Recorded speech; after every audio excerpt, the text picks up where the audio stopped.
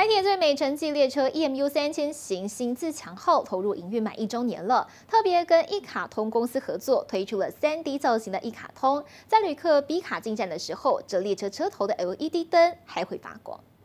北车店铺一早还没营业，排队人龙一路绵延到大门外头，还有人出动小凳子，为的就是要等这款 EMU 三千型新自强号造型一卡通。早上十点限量开卖，有人凌晨四点半就来排。昨天就是这边过过夜，他们每次都有买啊，特地请半天假来偷偷，回家还要回去欢迎我。排月历的时候我是排第一个，可是没想到说今天会这么多人。我我本身也蛮喜欢收集的，印刷或是实体的东西。加起来有上千辆吧。